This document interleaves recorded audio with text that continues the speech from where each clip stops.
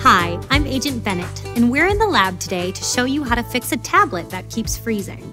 For this demo, I'm using a Samsung Galaxy Tab S6, which is running on the Android 9 operating system.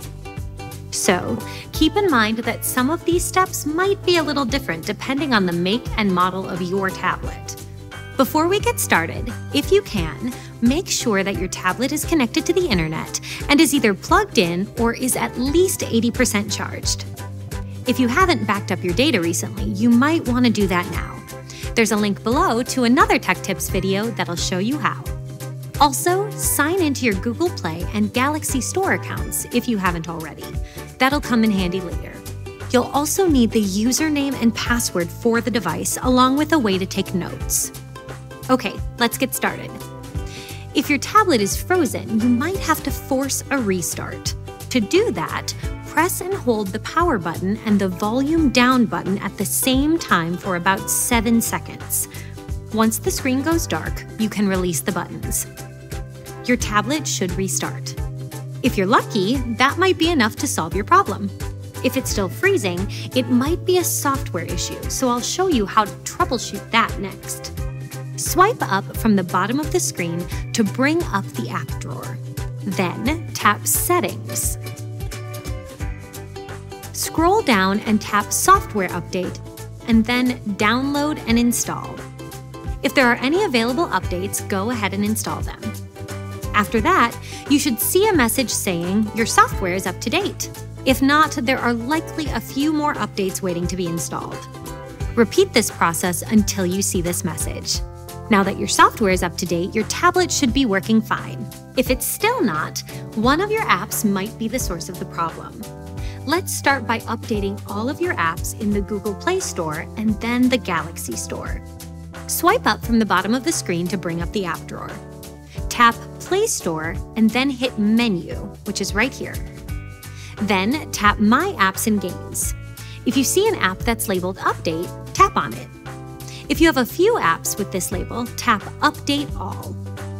Now we're going to update the apps from the Galaxy Store, Go to your app drawer again and then tap Galaxy Store, Menu, and Updates. If you have multiple apps that need an update, tap Update All. All right, now check to see if your tablet is working. If it's still freezing, I can walk you through a few more steps. Let's restart your tablet in safe mode. In safe mode, the operating system only runs software that is absolutely necessary. This can make it easier to find the problem. Press and hold the power button and the volume down button at the same time for about 3 seconds.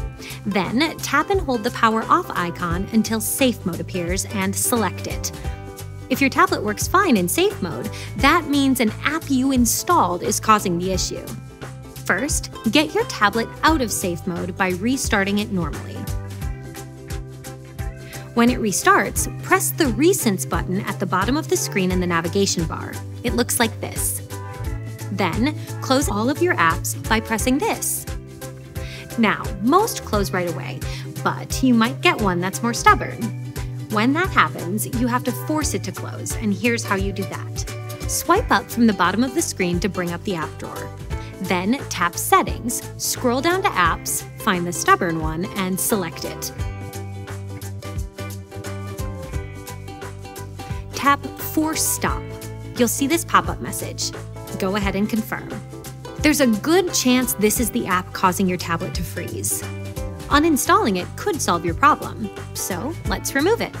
Bring up the app drawer and then tap Settings and Apps. Find the troublemaker and tap Uninstall or Disable. Now, restart the tablet to see if the freezing still happens. If it does, another app might also be at fault.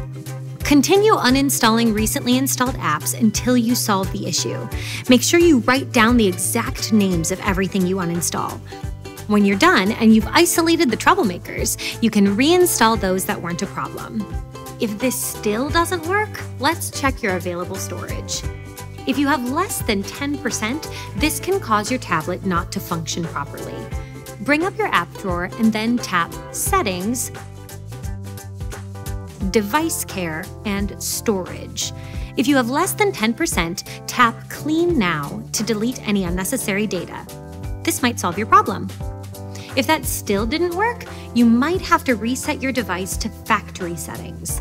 Now, before you do this, make sure you back up your data because this will erase everything, returning to its original state when it was brand new. When you're ready, bring up the app drawer and then tap Settings, General Management, Reset, Factory Data Reset, Reset, and then tap Delete All. Enter your password for your Samsung account and then tap OK. If your tablet is completely frozen and won't respond to the touchscreen, you can still do a factory reset using the physical buttons. Let me walk you through that too. When your tablet is off, press and hold the power button and the volume up button at the same time. When the screen turns on, release the buttons and then press the volume down button until Wipe Data Factory Reset is highlighted. Press the power button to select that and then press the volume down button again until Yes is highlighted. Press the power button to select it. Now you'll see a few other options appear. Press the volume down button until Reboot System Now is highlighted. Again, press the power button to select it. It will now walk through the factory reset process. At this point, your tablet should function like it's brand new, and you can restore your settings and reinstall your apps. I hope you found this video helpful. If you did, give it a like. If you have any other questions, leave them in the comments below and we'll do our best to help. And be sure to subscribe to our channel for more tech tips from Best Buy.